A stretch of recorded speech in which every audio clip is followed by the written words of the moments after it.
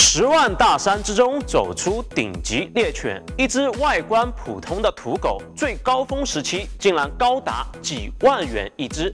由于常年在大山之中和各种猛兽搏斗，造就了它顽强的性格。广西土猎犬适合团队合作，只要有六只以上的师傅狗，就不需要猎人帮助的情况之下，可以捕捉中型野猪。非常善于在丛林中长时间的追捕野兽，此犬种性格强势，是一种闻名于全国的猎犬。猎人更喜欢将广西土猎犬搭配比特犬，后代烈性斗性会更加强。我认为这是一个非常好的路线，只要精心筛选，定向繁育，会出一种优秀的新犬种。其实百分之九十五以上的纯种犬历史都不超过两百年，走的路线都一样，都是先混血，而后定向繁育，制定犬种标准，一个新的品种狗就会由此而诞生。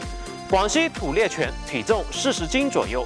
最高光的时刻是前几年，一只久经战场的师傅狗可以卖到数万元一只，好的师傅狗那更是抢手货。但是人算不如天算，由于最近两年不让打猎了，价格呈断崖式的下跌。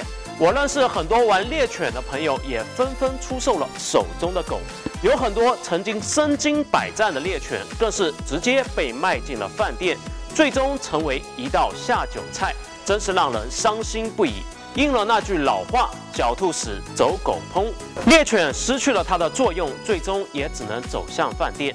我是狗语者老汤，每天带你进入猛犬的世界。谢谢收看本期视频。